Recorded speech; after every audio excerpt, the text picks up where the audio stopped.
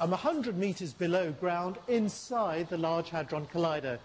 It's here that subatomic particles fly through at the speed of light and crash into each other.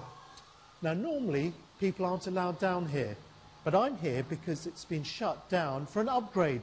With me to explain a little bit about it is Cathy Foraz, who's a technical coordinator of the LHC.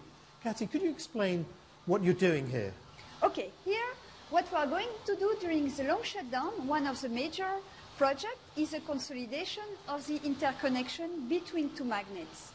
So this is a connection that you have at the moment. Yeah, an electrical connection.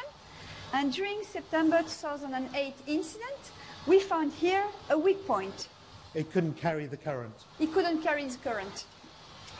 What we are going to do is add these additional pieces here which is called a shunt, in order to reinsure the electrical continuity between two magnets. And you're going to reinforce it? To reinforce it, yeah. And you're going to have to do this 10,000 times? Yeah, in less than one and a half year, which means we have to place one shunt like this each three minutes. So that'll mean that you can double the power of the LHC? Yes, up to 7 TeV per beam. That's very exciting. That's very exciting. Will this mean that there'll be new particles that you'll be able to discover?